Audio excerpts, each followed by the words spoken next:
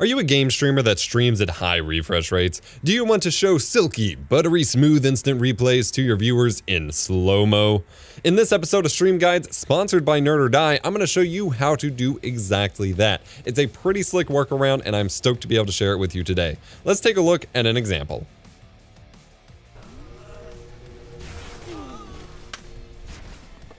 Let's see it again. Run it back.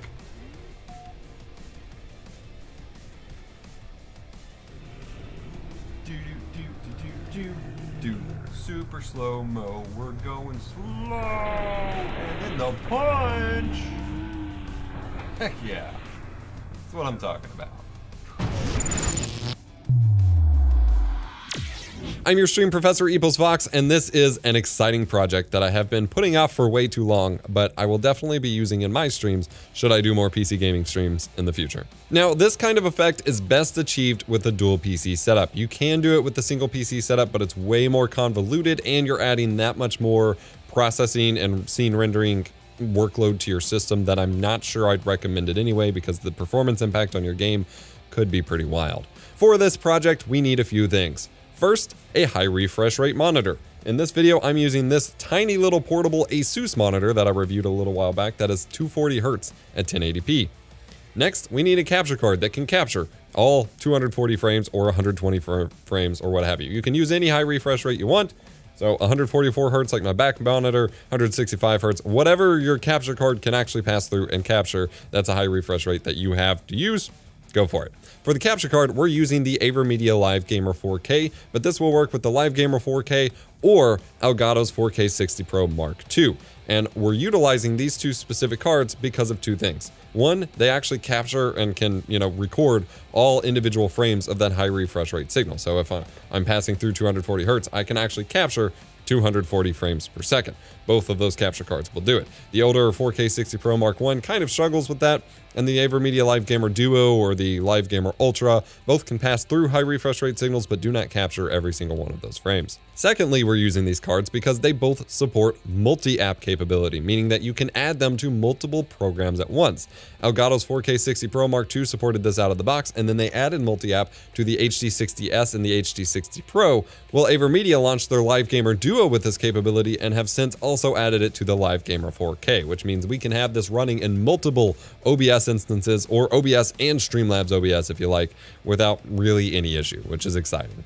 We will also need two instances of OBS running. You can do this with basically the exact same setup in Streamlabs OBS, but I'm going to be focusing on base OBS Studio here. Uh, but the first instance that we're using will most likely need to be OBS Studio itself. To set up your hardware, of course, do what you would normally do. Plug in your gaming PC into your HDMI input on your capture card and HDMI output to your high refresh rate monitor, and you're good to go. If you're using a monitor that does not support HDMI 2.0 and thus can't do high refresh rate over HDMI, only DisplayPort, then you will have to likely use display cloning out of Windows in order to get HDMI run to your capture card, or you can use the Level1Techs repeater, which will pass through a DisplayPort signal but also output HDMI, which is pretty neat but doesn't support adaptive refresh rates or adaptive sync. Uh, I'll have a full video on that coming soon. Software wise, we need to set up our first OBS instance, and this will be the instance that's actually recording our uh, our slow-mo, to so to speak. So for this, I highly recommend using a portable instance of OBS instead of a main one, because you can launch two instances of OBS by middle-clicking on your taskbar entry, uh, approving whatever prompts, and then it'll say, are you sure you want to launch OBS again? Hit launch, and then you can switch profiles, but this can cause some corruption and all sorts of weirdness. I don't recommend it. I recommend downloading a fresh copy of OBS from their website, choosing the portable zip option, extracting that to some folder. I use C, I use C programs OBS portable, and then make a shortcut to the OBS64.exe, modify that shortcut by going to properties and under target add dash dash portable to the end of the shortcut target, and that will run it as its own version of OBS. Something to keep in mind is that plugins and things like that will also be need will also need to be installed to this portable instance as well, and you'll need to set up new profiles and scene collections for it. So if you have any plugins, then you'll have to copy over the data and OBS plugins folders over to this one as well. In this profile, go to your settings and your video tab and then change your resolution to your desired, the actual resolution that and frame rate that you're gaming at. So if it's 1080p 240, you do 1920 by 1080, and then under frame rate to get 240 FPS, you actually go to fractional FPS values and do 240 over 1. if you're doing 144 FPS, 144 over 1, and so on. I guess I'll go on and note here that you can actually do this at 60 FPS to slow-mo down to 30 FPS if you stream in 30 FPS, but most people these days don't for game streams, so whatever. Now, under output, go to recording, make sure you're under advanced output, and use ideally NVENC, but use your graphics card encoder. Ideally, you have NVENC or QuickSync or something available that can actually do 240 FPS. Doing this in X264 is going to be a little goofy, and we're just doing a high quality recording, so worrying about doing X264 is a waste of time. Just do NVENC, I usually set it to a CQP value of 18. That's a fairly high quality recording. And uncheck all the extra options like psycho visual tuning and look, look ahead because those just add extra load and we're not worried about that right now. You can also set your audio to 320 kilobits per second for the best audio, but that's not necessary. Now set your output to go to a specific replays folder, not a folder that all your other recordings go to. It must be its own replays directory, and that'll be important in a minute. Now add a source for your capture card. Uh, for both the Live Gamer 4K and the Elgato 4K 60 Pro, in order to get all 240 or 144 frames that you're actually passing through to capture, under your video capture device settings, you go to custom, set your resolution, and then under frame rate, you don't have higher than 60 FPS as a specific option, but just set highest FPS, and then click OK. Now you need to set up the replay buffer. The replay buffer is essentially the instant replay capability or ShadowPlay capability, where it will be constantly recording to your system RAM and then you press a hotkey and it will save that to a video.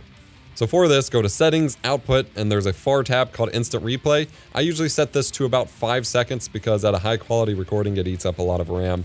Um, and then I've reserved eight gigabytes of RAM. If if you don't have a whole lot of RAM available on your streaming PC, I actually recommend setting like a CBR recording profile instead of CQP like I just set and set to like, say 40 megabits per second and then set like two to four gigs of RAM available as your instant replay buffer. Then go to your hotkey settings and set a hotkey for the instant replay saving. So this is Alt equal sign for me, but something that isn't assigned to something else that you can use. Now click Start Replay Buffer and that is going. If you wish to actually just have replay buffer launch whenever you open this instance of OBS, you can also add that to your shortcut for OBS as well. So after the dash dash portable, you can also add dash dash start replay buffer to your shortcut as well. And you can even set it to automatically open that same profile and everything else in your shortcut if you like. There's a lot you can do with OBS shortcuts. I would recommend making a custom icon. For example, I have this OBS thinking one I got from the OBS Discord uh, for this shortcut. That way you can pin it to your taskbar next to your normal OBS instance so you have both of them ready to go. All right, now set up your normal stream profile as you usually would. For this, I'm using a Nerd or Die stream package, Kinetic. You can check out our sponsor Nerd or Die at eposvox.gg slash nerd or die. They're currently having a spring cleaning sale. You know, get rid of all the old stuff, clean it out, save some money on some stream overlays, and upgrade your stream today with Nerd or Die. They have wonderful overlay systems that provide you with webcam frames, stream labels for your, you know, your recent tips and follows and subs and all of that. They have Stinger transitions, and pretty much every project comes with a source file that you can open up in Adobe After Effects to completely customize to your heart's content. And they have one-click setup in OBS Studio. So literally setting this up in a profile was I just went to Tools, Scripts, loaded the script, and click Setup Scenes, and it's ready to go. Now for this, I did actually use that After Effects source file to modify the Stinger transition because I wanted one that was specific to uh, the instant replay. And so I added a bit of instant replay text to the Stinger transition for this package in After Effects and exported it back out to use as a Stinger transition here. So then we need to make a new scene for our instant replay to exist. So for this, I clicked add new scene, instant replay. I added some cool text to just indicate that an instant replay is playing. And then I, in order to use that new stinger transition that we just made specifically only on this scene, I right click that scene, go to transition override and choose our instant replay stinger. This means it'll use whatever transitions are assigned to specific scenes for other scenes or just the default. But whenever I click my instant replay scene, it will use the new stinger transition that I just made. Just a helpful way to help it stand out so viewers know what is going on. Next, we need to add a media source for your instant replay. So if you haven't already, go ahead and save an instant replay from your first OBS instance, as this will create a video file that we need to reference. And again, this should be set to record to its own folder, separate from your normal stream VODs or whatever. Now, in your instant replay scene, add a new media source, not VLC media source, but media source, and find that recent recording that you just made with the replay buffer and add it and enable hardware acceleration. For this, we will need a plugin. It's called Directory Watch Media. This will be very important as I'll explain in a moment, but just go ahead and download that and extract it to your main OBS instance, not the portable one. So now that we have this media source added, of course, if you just leave it like this, then it will just replay that same clip over and over every time you activate this scene. This is where that directory watch media plugin comes in handy.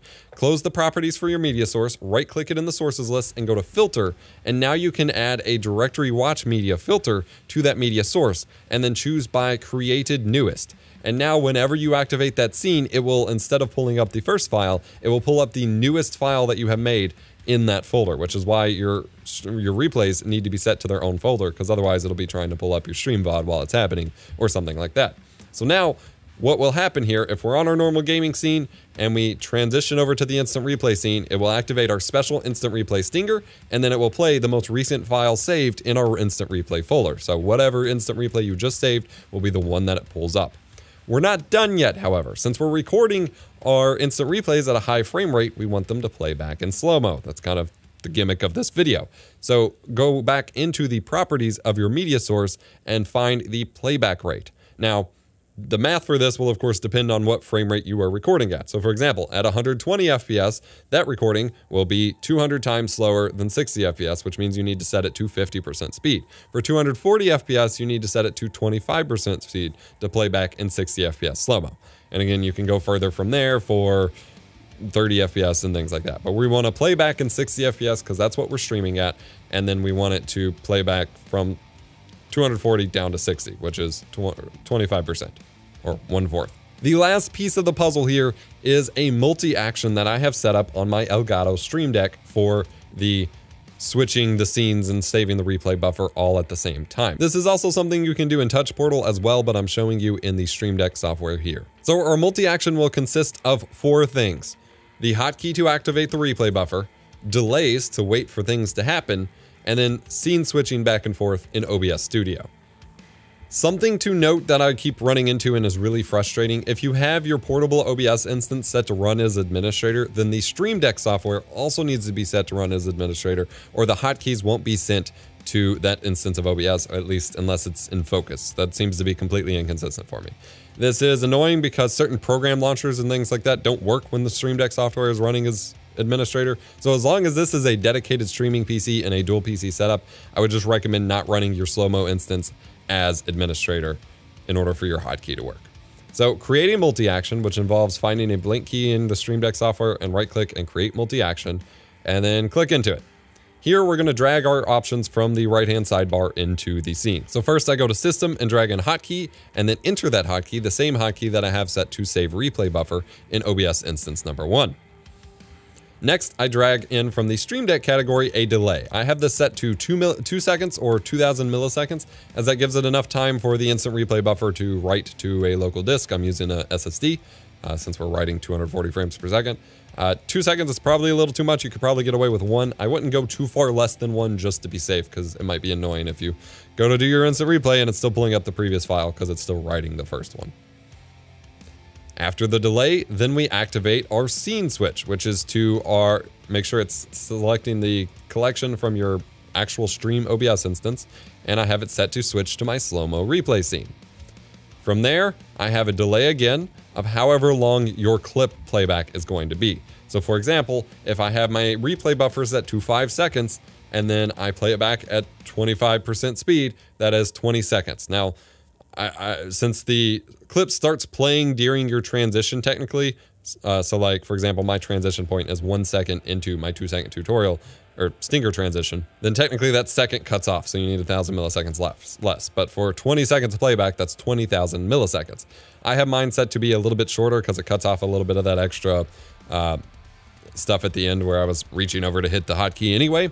Um, so I have mine set to 16.5 seconds, but you can set it however you like. Lastly, after that delay is done, that means your replay has finished playing out, then I have it set back to switch back to my normal in-game OBS scene. And then with all of those elements together, that multi-action is now on my stream deck, I'm playing and streaming my game. Whenever I want to show an instant replay of a crazy moment to my viewers, I hit that instant replay button, and this happens. Oh my god, they just got murdered. That's one. Two. I got two of them. Let's run it back, I guess. That was annoying. Replay. Going in for the slow. And the punch to the face while I get punched by somebody else. Alright, we're getting chased pretty hard already.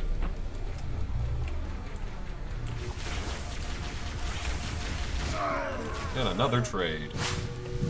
There you go, ladies and gentlemen. Slow-mo instant replays at a fluid 60 FPS available to your viewers with the press of a single button if you have Touch Portal or a Stream Deck or some sort of macro solution available pretty freaking awesome. I do hope you enjoyed today's tutorial. If you want to see more streaming experiments and cool projects like this for streaming, let me know in the comment section down below. Go check out our sponsor, Nerd or Die, who provided the overlays for this video. Hit the like button if you enjoyed. Subscribe for more tech education and stream guides. I'm your stream professor, EposVox.